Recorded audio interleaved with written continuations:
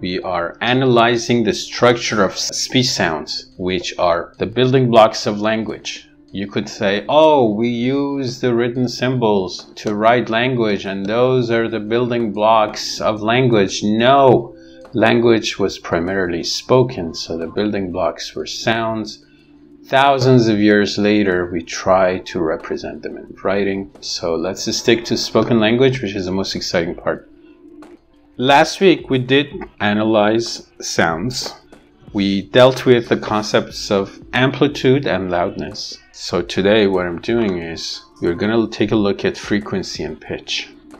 Um, so we did introductory phonetics, for example. Now we are doing a higher level of phonetics. So we are actually getting into the concepts that describe sounds. But as we discussed last week, this becomes a bit tricky because you think you're doing acoustic phonetics, but suddenly you're interacting with auditory phonetics and vice versa. I will try to clarify what sub branch of phonetics or domain of phonetics we are in. Let's start with frequency. What is frequency? Obviously, it's a very frequent word in common language. Frequency, frequent, frequently. But in the technical sense, when we're talking about sounds, speech sounds in particular or sounds in general, frequency is the number of times a sound wave occurs in a unit of time, or in other words, the number of cycles per second. So now we are suddenly jumping into sound waves. What is a sound wave? So if you throw a rock in a pond, you will see that the rock will initiate a series of waves in the water. The ripples, the water will start moving up and down in circles outwardly from where you threw the rock. So that is something that you can physically see. But when you speak, when you produce a sound, a similar thing happens, but you don't see it in the air. But unlike water, it's not visible. Think of every word you utter as a rock that you throw in, in the air, and then it will initiate a series of ripples or waves until those waves reach the ears or ear of the hearer. So speech sounds propagate in the form of waves, similarly to the ripples that arise when one throws a rock into the water. So those waves, every going up and down, think of it as a wave. So frequency is the number of cycles of wave per unit of time. Usually the unit of time is second.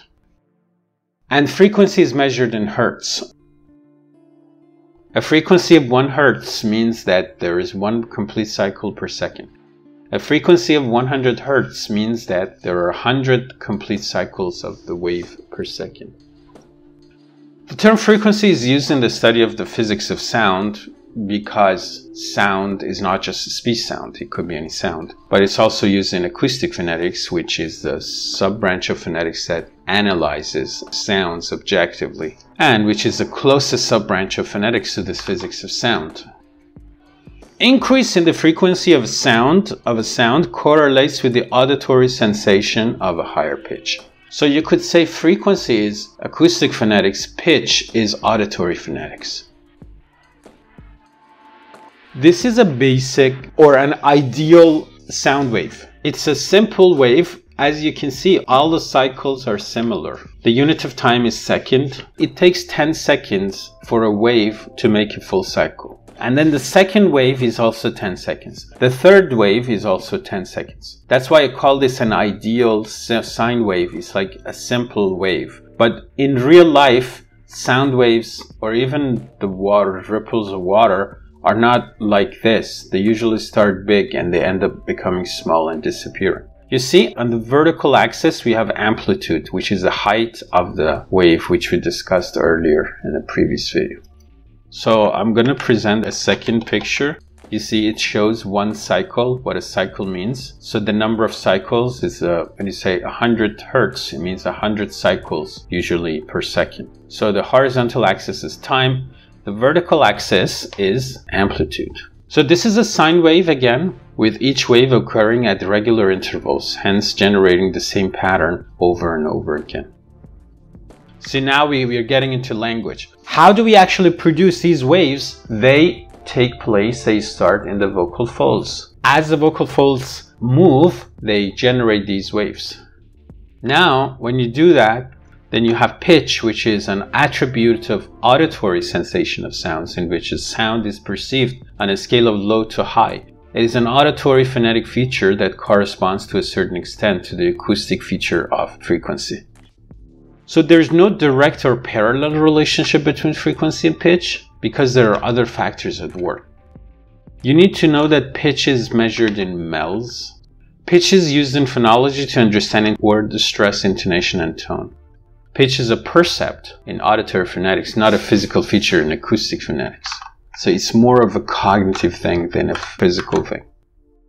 Pitch is an auditory property that makes it possible for a listener to scale a sound from low to high without considering the acoustic properties. The higher the rate of vocal fold vibration, the higher the pitch. However, the relationship is not that straightforward since our hearing works in a complex way in terms of processing air pressure, airflow, and vocal fold vibration. So there's all these factors at work. Pitch has a not linear logarithmic relationship with fundamental frequency, which I will examine later. Pitch is therefore generated by F0. F0 is fundamental frequency. The higher the F0, the fundamental frequency, the higher the pitch, and low pitch is caused by low fundamental frequency. This sound wave, which looks irregular, so it's not a simple sine wave. It shows 10 and a half cycles in one tenth of a second. This is based on natural speech. So you need to know that natural speech does not come in sine waves or simple sound waves, such as the ones I presented earlier. Natural speech is generated in a combination of different kinds of waves, that is complex waves, which is a complex mix of different frequencies. Usually when we analyze speech, we have things that we call spectrograms.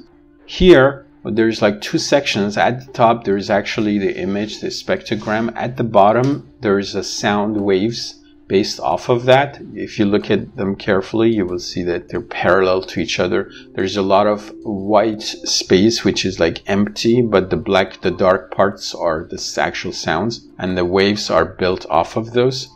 So if you zoom in on this sound wave, for example, and if you cut a small section of it, you might see a regular pattern like this. This is actually how it has been extracted from a real thing that used to be like this, complex like this.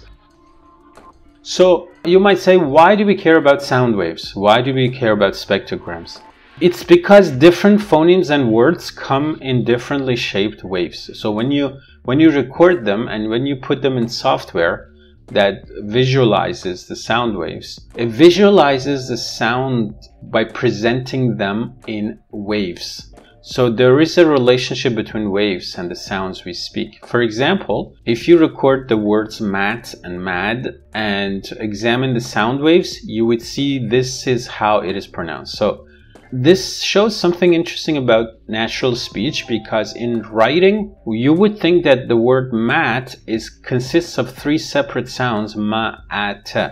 But in real life, mat is just a continuous stream of waves which are connected. There is no disconnection between a, me, at in, in the way we actually write those simple symbols separately. So this is a confusing thing about writing because we have separate characters, but in spoken language, in sound waves, such separation does not exist. The same is true about the word mad. As you can see, there is a transition, as you can see from ma, ma which is nasal, and then the vowel has uh, big, bigger waves, and then the t at the end. So there is a relationship. After a while, you can memorize the sound waves of each sound and once you look at a spectrogram you will identify the sounds. And as you can see in the sound waves the vowel has more amplitude more energy. And this is because they are voiced but it's also because they're vowels. So these are the waveforms of mat and mad Another thing is the time is not second, it's millisecond. Why? Because speech is so fast that if you examine them in seconds, it will not be as precise as we want them to be. We need to examine them on a smaller scale, which is milliseconds.